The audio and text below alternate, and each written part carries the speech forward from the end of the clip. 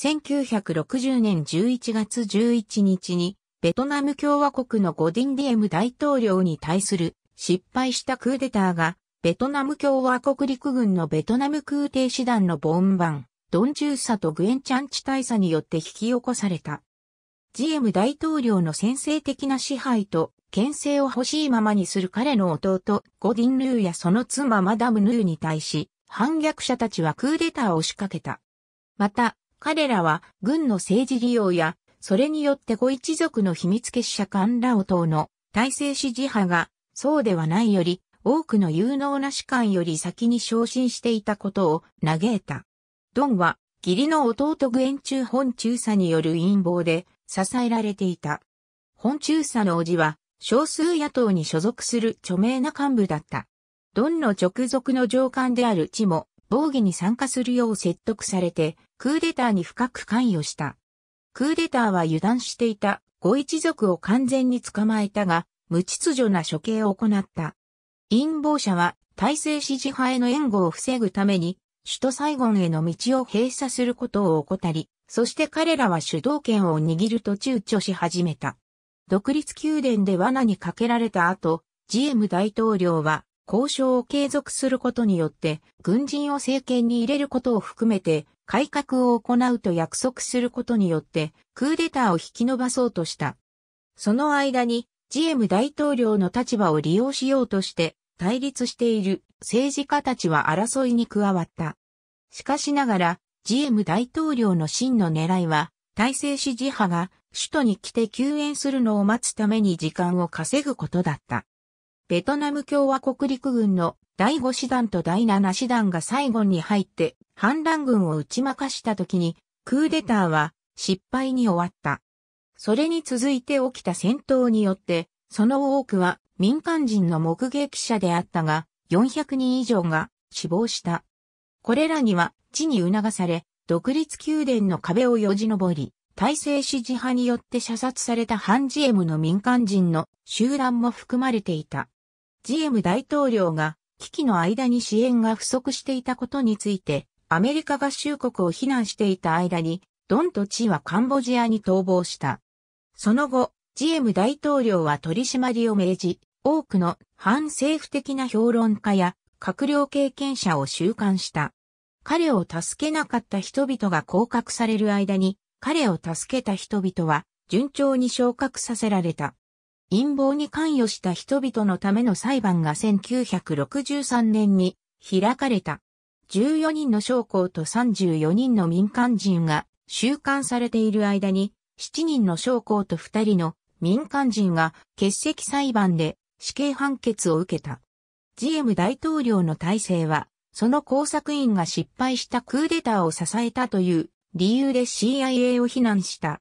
GM が1963年のクーデターで暗殺された時、1960年の反乱で投獄されていた人々は新しい軍事政権によって釈放された。クーデターの首謀者だったボンバン・ドンチューサは北部出身で第一次インドシナ戦争の時にフランス連合のベトナム人部隊に属してベトミンを相手に戦った。その後アメリカ合衆国に派遣されて、レブンワーストリデで訓練を受ける中で、軍事顧問から優秀な戦術家として見出され、有望な前途を嘱望されることとなった。ベトナムに帰国すると、ベトナム空挺師団に配属されるが、ジエム大統領による陸軍人事や指揮への介入に不満を抱き始める。ジエムは能力より忠誠心に基づいて将校を昇格させて、軍の指導力を弱めて、彼の支配に疑問を持って挑戦することを防ぐために、互いに上官役を演じた。クーデターの数年後、ドンは自身の目的がジエム大統領に国家の統治を改善することを強制することだと主張した。ドンは彼の義理の共同幕僚学校の責任者を務めていた兄弟グエン中本中佐とその叔父ホアンコ、テュイによって極秘裏に支えられた。テュイはサイゴンを拠点とする裕福な弁護士で第二次世界大戦以来政治活動家だった。彼は自由のための闘争運動と呼ばれた少数野党の幹事長だった。この政党はハンコを押すだけの機能しかなかった国会では小さな存在感しか持たなかった。ベトナム共和国陸軍の兵士の中には、第二次世界大戦前に設立された大越党や、ベトナム国民党など反響でありながら、GM にも批判的な勢力が少なからず存在していた。大越党は反仏活動をしながら、日本占領下では当局に協力し、国民党は中越国境近くの雲南省で中国国民党の支援で軍事訓練を受けていた。GM 大統領とその家族は他のすべての反共主義の民族主義者を落胆させ、彼の陸軍の政治利用は職業軍人を阻害した。職員は能力より忠誠心で昇格され、そのことは多くのベトナム国民党や大ベトナム民族党が職員を訓練していながら、そのような昇格を否定されたことを意味していた。彼らは政治的なマインドを持った職員の存在を感じ取って、彼らはカトリック教徒が支配していた公式には存在しないことになっていた GM 大統領のカンラオ党に入党。この党は南ベトナム社会を支配するために用いられ、彼らは昇進面で最優秀な人々より優遇された。ドンと共に不満を抱える将校を集めて、クーデターのための計画は1年以上過ぎ去ろうとしていた。ここには彼の司令官、グエンチャンチ大佐も含まれていた。1955年に、チは、サイゴンの戦いの際には、ビンスエン派という犯罪組織を相手に、GM 大統領のために戦っていた。この振る舞いは、死ぬまで独身だった GM に強く印象づけ、それ以降はチを我が息子と呼ぶようになった。しかしながら、父と共に働いていたアメリカ人にはあまり印象が残らなかった。中央情報局は地を機械主義者で強い信念の欠如した人物だと表現した。あるアメリカの軍事顧問は地をタフで無遠慮で恐怖を知らないが無口な人物だを表現した。地が彼の自由な選択によってクーデターに参加していたのか否かについて論争がある。いくつかの資料によると、地はそれでも GM 大統領の賞賛者であり、陰謀の詳細は知らされないまま、ドンやその支持者たちによって銃口を突きつけられて、最後の瞬間にクーデターに無理やり参加させられたらしい。この話に従えば、地の空挺部隊は彼の知識なしに最初にクーデターの立場に動いたということになる。クーデターの何ヶ月も前に、ドンは広く体制のブレーンとして見られ、改革と軍の非政治化を求めるために、GM の弟で政権の顧問をしていたゴディン・ヌーと、その妻マダム・ヌーと面会していた。ドンは面会は順調に進んで、ヌーが改革を確定させるだろうと期待したと述べた。しかしながら、数週間後にドンと、その協力者たちは異なる司令部へと移され、物理的に分離させられた。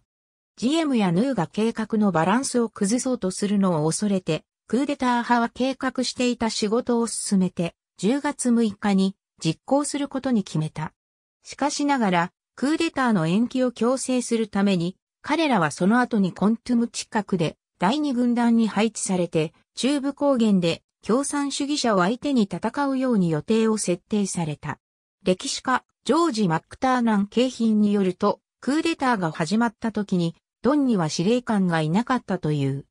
アメリカ人たちは気がつき始め、8月に軍の将校兵団で政治的絶滅について報告書が増えて恐れ始めた。8月末に出たアメリカ国務省が準備した情報報告書は内部の安全を解約すること、無能な将校を昇進させること、そして陸軍の作戦に対する GM 大統領の直接的妨害、彼の政治的偏愛、当局による不適切な派遣団、そして官僚党の影響があると指摘した。GM が大統領に就任して権力を掌握して以来高級官僚の間での GM 大統領に対する不満は頂点に達していて官僚たちは必要ならクーデターを通してでも指導者が変わることを望んでいたとも指摘されている。ヌーと彼の妻マダムヌーが行政官僚の間で最も軽蔑されていた。報告書はクーデターが起きた場合、その目的はおそらく、ヌーと彼の妻を権力から排除し、GM 大統領が望むように大統領の権限を縮小させる形で国家を指導することを許すだろうと予想した。諜報部門の予想は的中した。アメリカ合衆国大使、エルブリッジ・ダーブローは1957年からこの職を務めていたが、GM に対して政治改革をするようにと圧力をかけるという内容の長い記録を持っていた。大使は南ベトナムでの政治的問題は GM の協力的態度にあると感じ、GM がより広範囲な社会を統治する様になって汚職、仲間びいき、乱暴な言葉遣いの公務員を排除し、土地改革を実行すれば、共産主義者の暴動は、より簡単に鎮圧されると考えた。しかしながら、南ベトナムの大統領は政治的問題を解決し、反 GM 派を黙らせるための手段として権威主義を見ており、ダーブロー大使とアメリカ軍顧問団との間で頻繁に繰り返されていた論争に至り、南ベトナムに駐留していたアメリカ軍の上層部もこれに同意した。ダーブロー大使は GM の反対派に対する高圧的な戦術はより多くの異論を唱える人々を作り出し、共産主義者に機会を与えるのみだったと頻繁にワシントン DC に報告した。この頃、ダーブロー大使は長期間にわたって南ベトナムをより発展させるために大衆的支持を集める必要性を説いて GM にヌーとその妻を政府から遠ざけてはどうかと提案し始めた。彼の重要な提案にはヌーを外国大使として他の国に送ることや、カンラオ島の本質を改めることが含まれていた。ヌーとカンラオ島は GM の権力の中心的手段であったので、GM はダーブロー大使の提案に従わなかった。9月16日にもう一つの収穫のない GM との会談の後、ダーブロー大使はワシントン DC に、もしこの国での GM の立場が悪くなり続ければ、アメリカ合衆国政府は我々の目的を達成させるために、他の行動や指導者を立てることを考慮する必要に迫られるかもしれないと報告した。国務省による別の報告書では、GM が意地を張り続け、反 GM 派がアメリカ合衆国政府はクーデターに冷淡ではなく、米越関係は深刻な損害を被らないと感じるならば、クーデターの可能性はさらに高くなると結論付けられた。GM に不満を持つ人々が同じ結論に至ることが分かったので、アメリカ合衆国政府は彼らが GM 大統領を倒しても気にしないだろうと記述された。クーデターはベトナム国民党と大ベトナム民族党の民間人と将校の双方による助けで組織された。ドンは飛行連隊、海兵隊部隊と3つの落下山大隊の協力を得た。海兵隊大隊はファン版、流中佐によって動かされた。作戦は11月11日午前5時に開始される予定になった。しかし、空挺師団の兵士は彼らの将校が何を蓄えてあるのかを知らなかった。彼らはベトコンを攻撃するために農村地帯に向かっていると伝えられていた。計画を実行している途中に、将校たちは、大統領護衛は、大統領宮殿を守るための部隊であり、GM に対しては、反乱を起こすだろうと主張した。ピューリッツァー賞受賞作家、スタンリー・カーノフ著、ベトナム、A ヒストリーによると、クーデターは非効果的に実行されたという。反乱軍が、タンソンヌット空軍基地にあった共同参謀本部の司令部を接収したが、彼らは最後にへの道を塞ぐという教科書通りの戦術に従うことに失敗した。同様に宮殿への電話回線を遮断することにも失敗し、そのことが GM に体制支持派の救援を呼ぶことを許した。落下山兵はサイゴンの主な大通りを独立宮殿に向かって降ろされた。最初に反乱軍は GM が要求に応じると信じて攻撃せずに校内を取り囲んだ。ドンは GM に圧力をかけるために、アメリカのエルブリッジ・ダーブロー大使を呼び出そうと試みた。ダーブロー大使は GM を根気強く批判していたが、我々は政権が崩壊するまで GM を支えると述べ、GM を支えるというアメリカ合衆国政府の立場を維持した。ダーブロー大使は後に GM の補佐官が彼を呼び出して反乱軍に降伏するか、宮殿への榴弾砲攻撃に直面するかのどちらかだと主張していたジームの補佐官からの電話を思い出した。ダーブロー大使はこれを拒否し、攻撃は一切行われなかった。その結果、彼は補佐官が無理やり電話させられていたことを学んだ。反乱軍の兵士のほとんどが反乱から GM 大統領を守るために攻撃しようとしていると大統領護衛によって教えられていた。すべての階級の中でも一人か二人の将校のみが本当の状況を知っていた。高い壁、フェンスと数人の警備員が宮殿の地面を取り囲んでいた。反乱軍の落下山兵は彼らの輸送機から上陸し、主要な出入り口で攻撃のための位置に移動した。何人かは前進し、他の兵士は宮殿の前で自動小銃をかき集め、窓を粉々に粉砕し壁に穴を開けた。GM は一斉射撃で殺されかけた。反乱軍の機関銃は隣接していた司法省から GM のベッドルームの窓を攻撃し、弾はベッドを貫通したが、GM はちょうど数分早く目を覚ましていた。落下山兵の宮殿に対する最初の攻撃は予想外の抵抗を受けた。反乱軍と GM との間に立っていた大統領護衛は30人から60人だと推定されたが、彼らはかろうじて最初の一撃を撃退して、宮殿の壁をよじ登って地面の芝生を走り抜けようとした7人の反乱軍兵士を殺害した。反乱軍は宮殿に非常線を張って攻撃を止めた。彼らは補強を輸送し、攻撃は午前7時半に再開されたが、大統領護衛は抵抗し続けた。30分後、反乱軍は5台の装甲車で宮殿を一周した。彼らは周囲の柱を攻撃して宮殿の敷地をモルタルで塗った。しかしながら戦火は午前10時半までには先細りになった。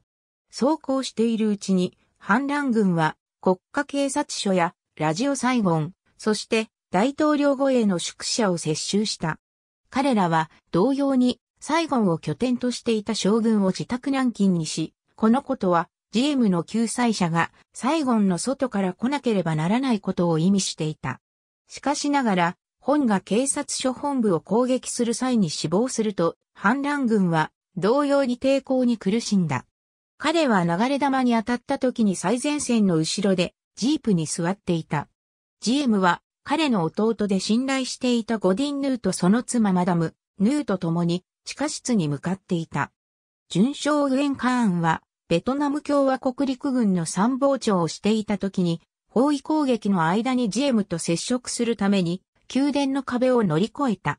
カーンは宮殿近くの都心で暮らしていて発砲音に起こされて彼は行動に出た。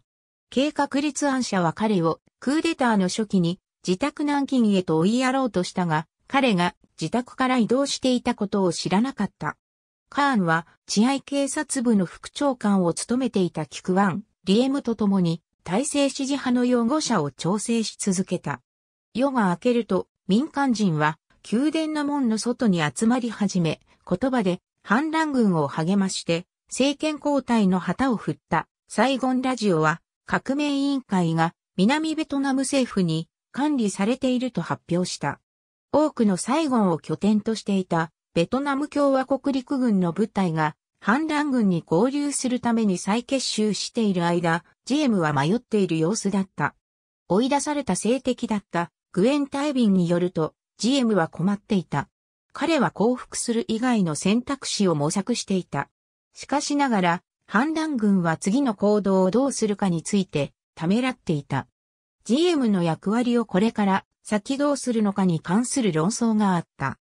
ドンは反乱軍は宮殿を総攻撃し、GM を捕らえる機会を得るべきだと感じた。その一方で地は攻撃で GM が死亡することを恐れた。地は GM の欠点にもかかわらず、GM は南ベトナムの最良の役立つ指導者であり、強制された改革は最良の結果をもたらすと信じていた。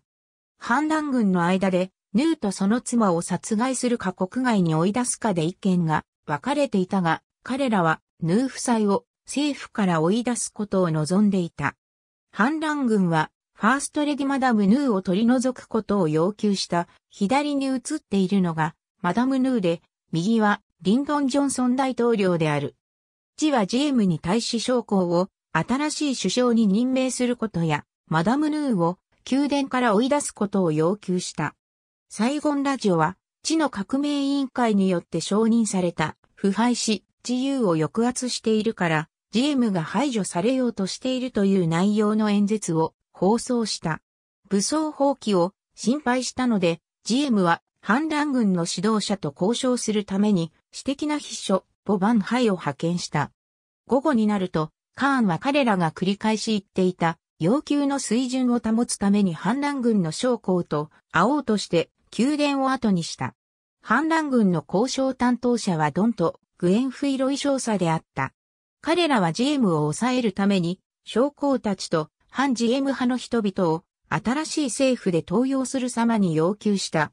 計画者がベトナム国立陸軍士官学校の校長をしていたレバン、キム・ジュン将に一方的に彼らの新しい首相に指名した。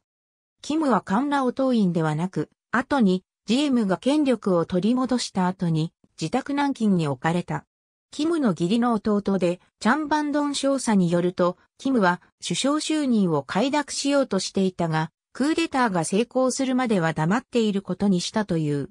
反乱軍は同様に GM に軍のトップだったれ、バンティ将軍を防衛大臣にするよう提案した。GM はクーデター計画者によって自宅軟禁に置かれていたティに自発的に参加したのかどうかと尋ねたが、ティは自発的に参加したわけではなかった。11月11日の午後に反乱軍は彼らの要求を大統領に伝える仲介役としてティを使った。ティは GM と相談して、現政府の解散の合意を得て、そして革命委員会の合意によって、将校たちに臨時軍事政権を樹立する仕事を与えたと言っている間に、放送はサイゴンラジオで行われた。ファンク・アンダンは反乱に合流し、反乱軍のスポークスマンとして振る舞った。GM の最重要な政治批評家だったダンは、GM が画策して団に対し組織化された投票が行われて6単1の割合で勝利して議席を獲得したにもかかわらず、1959年のベトナム共和国国会議員選挙で失格となっていた。彼はベトコンに対する戦争の政治的なやり方を間違えたことや、反乱の理由として政府の政治的基盤を広げることを拒絶したことに言及した。落下山兵が壁から大統領の肖像画を引きずり下ろし、それを引き裂いて踏みつけていた頃、ダンはラジオベトナムで演説し、記者会見を行った。その間に、ホアンコ・トゥイは GM 後の連立政権を樹立するために動き回った。彼はすでにベトナム国民党、大ベトナム民族党やホアハオ教やカオダイ教といった宗教団体と連携していて、さらなる協力を模索していた。グエン・カーンは宮殿に戻ってきて、ご一家に対話の結果を報告した。彼は宮殿の外にいる反乱軍や抗議活動家の要求に従って GM に辞任を進めた。国を去ることが GM とその家族の運命だと主張して、マダム・ヌーは GM に対し権力の分担に同意したことについて罵った。マダム・ヌーのカーンに対する攻撃的な態度は彼に出ていくように迫るものだった。これで GM は義理の妹を沈黙させ、カーンと大統領だけがその場に残った。対立している間、ダーブロー大使は迷いながら、さらなる流血が結果的にベトナムの共産主義者に対する抵抗力を致命的に弱め、我々は分断が続くのを防ぐために、ベトナムや自由世界が合意を一刻も早く達成させることを最優先の重要事項だと考えていると書き記した。アメリカの代表団は、双方に対して平和的な合意を達成させ、権力を分け合うよう指摘に進めた。グエンバン中大佐の第5師団は、GM を反乱軍から救出するのを助けた。その頃、交渉が体制支持派に最後に入って大統領を救出することを許した。カーンは残っていた連絡手段を使ってサイゴンの外にいた上級将校にメッセージを送った。後に大統領になるグエンバン中大佐の第5師団はサイゴンの北にある町ビエンホアから不評部隊を送った。チャンティエンキエム大佐の第7師団は、サイゴンの南方のメコンデルタにある未島から7つの不評大隊と第2機構大隊の戦車を入れた。キエムは、ジエムの兄、ゴ、ディンテュック広司教とつながりのあるカトリック教徒だった。カーンは同様にベトナム共和国海兵士団の臨時代理のレ、クエンカンが第一と第二海兵大隊を送ったと確信した。ベトナムのレンジャー隊がタイニンという西部の町からサイゴンに呼ばれた。防衛時間補、グエンディントゥアンはダーブロー大使に電話して到着しつつあった大西支持派と反乱軍との切迫した対立について話し合った。ダーブロー大使は革命委員会とジェーム大統領が共に内戦が共産主義者を利するだけだという合意に至ることを私は望む。片方が合意形成のために譲歩すれば、私は共産主義者に対し連携を強化することが望ましいと信じていると言った。ダーブロー大使はもし片方のみに偏れば、アメリカ合衆国は敵対的な体制と向き合わなければならなくなると心配していた。ジームはカーンに落下産兵と交渉を継続し、和解を模索するように助言した。正式な交渉に同意した後に、各政党は停戦に同意した。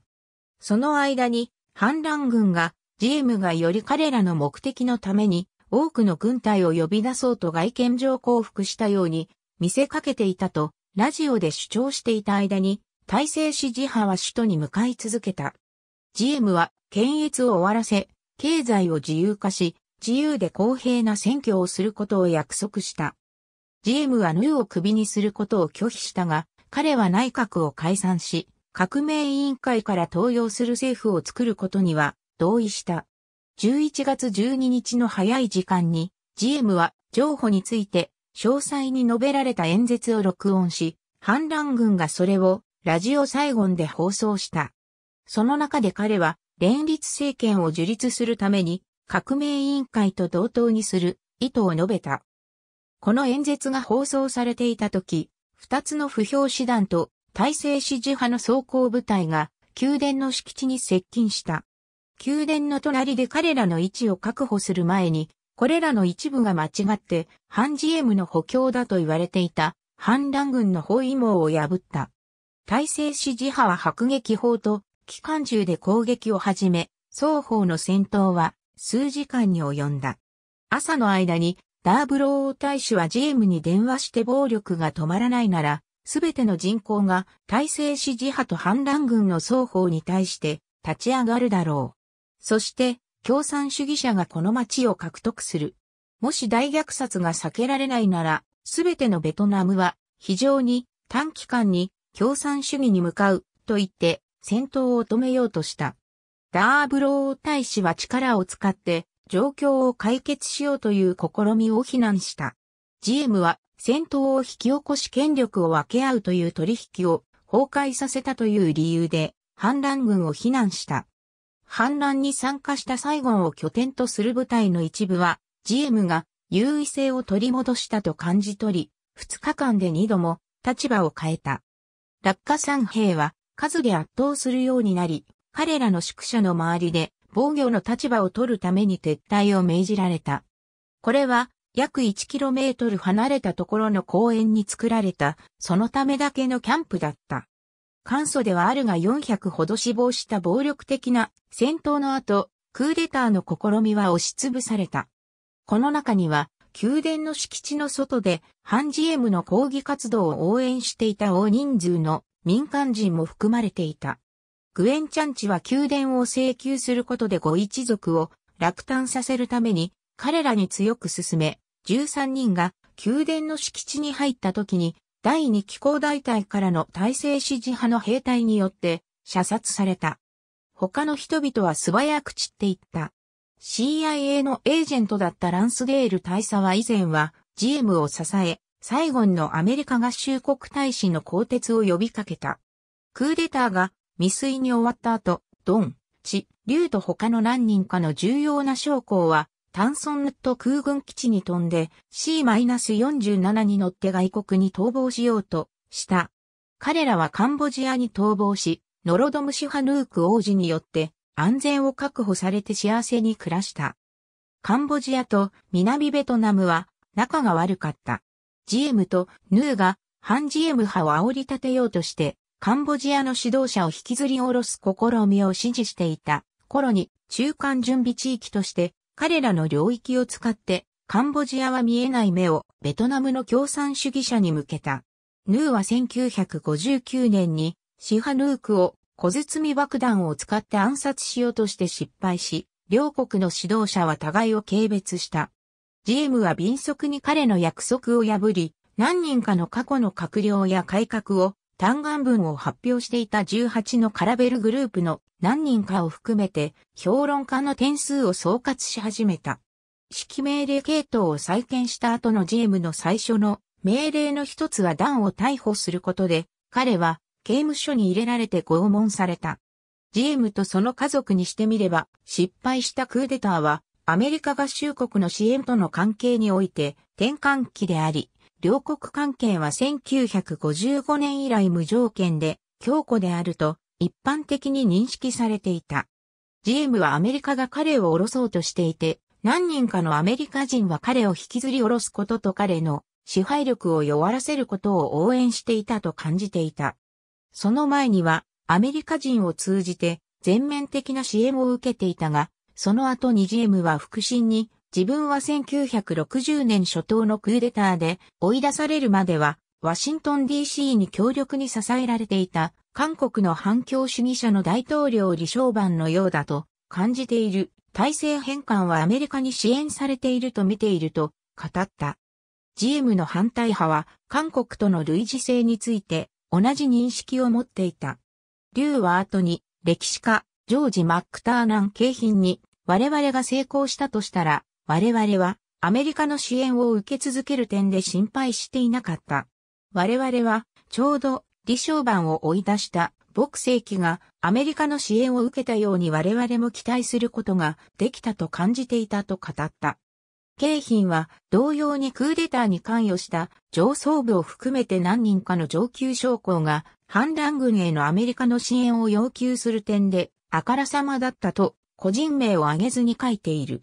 失敗したクーデターに引き続いて、GM の弟ヌーがさらにダーブロー大使を反乱軍の片棒を担いでいたと訴えていた頃、GM はアメリカの彼に対する支援が不足していたとダーブロー大使を非難した。ダーブローは 100%GM を支えていたと述べ、数年後にこれを否定した。1961年1月には、ヌーがスタンリー・カーノフに反乱の最も主要な罪人は欧米諸国の大使館、特にアメリカ人だ。反乱の間、アメリカの軍事顧問は落下産兵を支援していたと語っていた頃、GM は景品にアメリカが関与させられたという見解を披露した。1961年5月には、ヌーは少なくともあなたは言うことができる。国務省は新米政権と政府を倒そうとしていた。反乱軍との間で中立的だった。そしてクーデターの間のアメリカ人の公式な態度は大統領が望んでいたものとは異なっていたと言った。GM にしてみれば、ダーブロー大使が自制を要求したことは、大使が GM と反乱軍を同等に見ていた兆候、GM が憎悪の対象とした何かだった。GM に国家のすべての要素を統一する必要性を強調して、ダーブロー大使は反乱軍の指導者を優しく扱うために GM を呼び出したが、GM は激怒して大使の話を拒絶して反乱軍が無辜の人々を騙したと非難した上で、あなたは反乱軍があまりに多くの流血を引き起こしたことを明らかに理解していないと言って断固としてこれに反対した。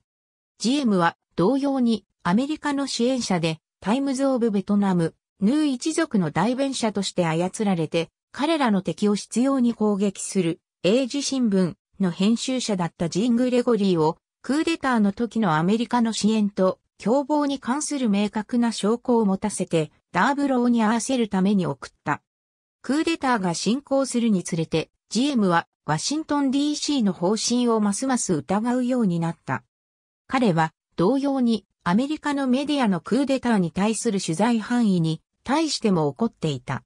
アメリカのメディアは GM を権威主義者として反乱を広範囲にわたる不満の表れとして描いた。GM は対照的に反対派を単にトラブルメーカーだと見ていた。アメリカ軍の上層部は GM を強く支持していた。エドワード・ランスデール大佐は1955年に GM を権力者に据えて揺るぎないものにするのを手伝った CIA のエージェントだったが、ダーブロー大使の発言を嘲笑して、アイゼンハワー政権に大使の召喚を要求する様に頼んだ。ランスデールは、ダーブロー大使が個人的な名声を残しているとは、最も疑わしい。GM は、ダーブローが感情的に反乱軍の側に立っていると感じ取っているに違いない。ひょっとしたら彼は、数ヶ月にわたるダーブローの初見が反乱が増長するのを助けたと感じているのかもしれないと言った。ランスデールはダーブローをクーデターの最も決定的な瞬間にアメリカの大使がジェームに流血を避けるという反乱軍の要求に屈服するように促したと批判した。アメリカ軍顧問団の新しい司令官となったライオネル・シー・マクガー中将もランスデールに同意した。マクガーは対立の間に反乱軍と体制支持派の双方と連絡を取り合い、クーデターの失敗は中世に結合する GM の勇敢な行動とサイゴンに軍隊を連れてきている指揮官の融通性が原因であると考えた。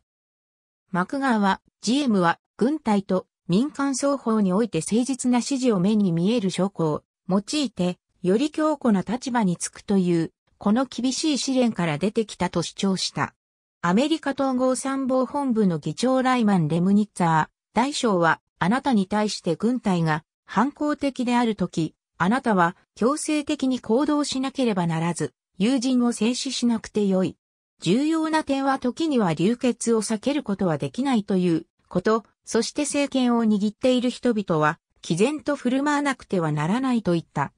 国務省は GM に祝賀メッセージを送るように、ドワイト・ディ・アイゼンハワー大統領に助言したが、ダーブロー大使は GM がこのメッセージを彼の統治は無資格で承認されないと解釈し、彼を掌握することやクーデターの教訓に気をつけることから妨げる主張し、反対した。GM は後に計画に関与させようとして、ジョージ・カーバーとラス・ミラーという二人のアメリカ人を巻き込んだ。二人はクーデター未遂の際に反乱軍と共に行動した。エルブリッジ・ダーブロー大使は状況の形跡を追うために彼らを送り込んだが、GM は彼らが武装放棄を応援するために現れたと受け止め、クーデター派が要求していた変革は、ダーブロー大使が前の数ヶ月間に提唱していたものと告示していた。カーバーがクーデターの指導者層と親密な関係にあり、その後は体制支持派が落下山兵を圧倒した時に、テュイが南ベトナムから逃げる際には手助けしたことが後に、GM の反対派を応援したのかしなかったのかは不明だが、カーバーは同様にテュイの自宅で民間の反乱指導者と面会しクーデターの時に共に時間を過ごした。ご兄弟はアメリカ人にカーバーは追放されなければならないと通知し、その後間もなくカーバーは死刑執行令状を受け取った。脅威はおそらくクーデターの指導者によって示され、カーバーが彼らを見捨て彼らに対するアメリカの援助を引き上げようとしていたので、彼らは外見上は怒っていた。アメリカ人はヌーが本当の元凶であると考えていたが、ご一家に彼らは彼自身の安全のためにカーバーを追い出そうとしており、これによってすべての政党が困難を避けることが許されたと伝えた。数年後、カーバーは体制変換がベトナムでのアメリカの目的を達成するために必要だったと完全に確信していたと述べ、GM が悪行を行っており、他の人にとって変わられるべきだという反乱軍の考えに同意していたと語った。回想録では、ドンはミラーがクーデター未遂の数ヶ月前に GM を倒すのおかげで応援していたと主張した。南ベトナムでのアメリカの外交官と米軍の代表者との間の亀裂は大きくなっていった。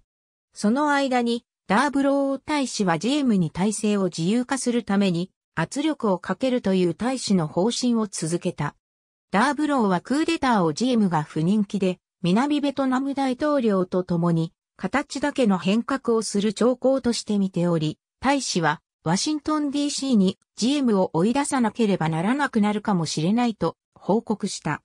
しかし12月には、実現可能な限り自由化を推し進め将来の韓国が逆効果になりそうな限り、現在の大使館は仕事をすると信じると電報を打って、ジェイ・グラハム・パーソンズ極東担当国務次官補は、ダーブローを大使に中止するように言った。これは、ベトナム共和国陸軍と GM に反映された。落下山兵は、陸軍の中では最も体制寄りとされていたので、GM は能力より忠誠心を重視して、将校を昇進を決めるという方針を一層強く推し進めた。キエムは大将になり、陸軍参謀総長に任命された。ご兄弟は変質だったので、あまりに簡単に反乱軍の電話線を破壊していた、カーンは疑わしいと感じていた。カーンの行動は大統領を支えるという点で、評判を得ていたが、彼は双方の中流地に足を運んでいたという理由で後に批判された。批評家はカーンが反乱軍と共に良い関係を保っていて、GM が勝利すると確定してから、反乱軍を相手に戦うと決めたと主張した。カーンは後に第二軍団の司令官として中部高原に送られた。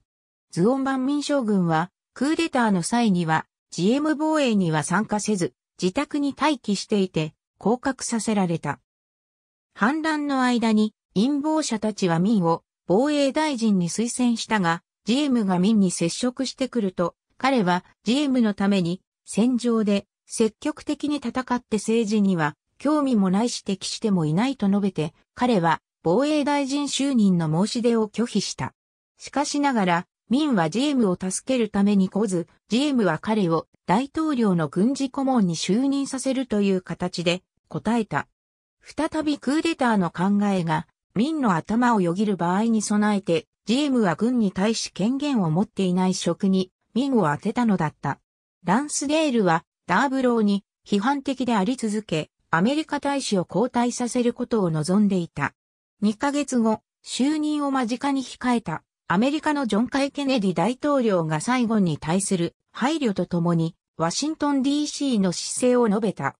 ランスデールの報告は南ベトナムが消滅することを、それに従って新しい方向性が見つからない限りは残りの東南アジアと国際情勢におけるアメリカの優越性について予言していた。彼は同盟関係の問題に関してダーブロー大使の愚かな決定を非難し、クーデターに強く共鳴していたのでこれ以上効果的に仕事をすることができなくなったと述べた。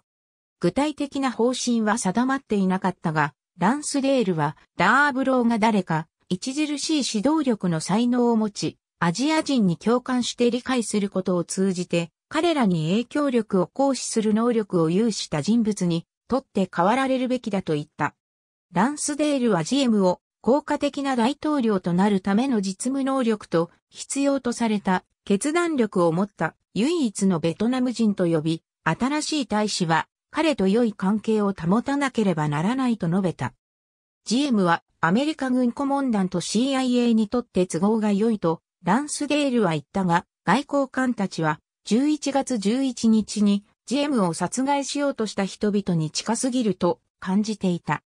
これらの件が話し合われていた間に、サイゴンでのダーブローの立場を支えきれないという強い合意があった。ランスデールの服従は、ダーブローを更迭して1961年5月にフレデリック・ノルティングを新しい大使に就任させるというケネディ大統領の決定において重要であると見られた。ノルティングは GM に改革の圧力をかけることや、彼をひっくり返すことに消極的だと見られた穏やかな人物だった。国務省や国防総省からの不満に直面する前に、ケネディ大統領はランスデールの指名を深刻に受け止めたらしく、彼らの間でロバート・マクナマラ国防長官が調整に回った。ケネディ大統領もすぐに GM のための資金援助を増やして、ランスデールの助言に基づいて、ベトナムの指導者に対する支持を見せびらかした。クーデターに関与した容疑で起訴された人々のための裁判が2年以上経った1963年半ばに始まった。GM は仏教と聞き、民衆にさらなる抗議活動を思いとどまらせる試みと解釈された事件の間に被告たちの証言を聞く予定を立てた。19人の将校と34人の民間人がクーデターの共犯として訴えられ、特別軍事法廷に呼び出された。GM の役人はアメリカ人に仲裁しないように機微の欠如した警告を発した。当局の検察官は失敗したクーデターの裏には外国勢力がいたが、具体的な固有名詞を挙げることはできないと述べた文書があると主張した。後に二人のアメリカ人、アメリカの作戦任務に勤務していたが後に CIA のエージェントだと判明するジョージ・カーバーとサイゴンでのアメリカの任務の副長官だと記されたフォワード・シー・ヒルティングだったと非公開記録で明らかとなった。軍法会議に呼び出された卓越した民間人の一人がナットリンという筆名で活動していた著名な小説家だった。彼はベトナム国民党の指導者、グエン・トゥオン・タムだった。彼は1946年にホーチミン政権の外務大臣を務めていた。タムはフォンテンブロー会議に代表団を送ってフランス連合に譲歩するよりは彼の立場を諦めた。クーデターが失敗に終わって30ヶ月過ぎた頃、警察はタムを逮捕するのに十分な陰謀の主張をせず、タムが裁判について知ると、彼はシアン化合物を服用して自殺を図った。彼は遺書を残し、GM による仏教迫害に抗議して、昇進自殺したティッククアンドック王将に言及し、私も同様に全ての自由を踏みにじっている人々への忠告として自殺しようと思うと書いた。タムの自殺は複雑な受け止め方をされた。何人かは屈辱より死を選ぶというベトナムの伝統に乗っ取っていると感じたが、ベトナム国民党の一部のメンバーは、タムの行動がロマンティックで情緒的だと考えた。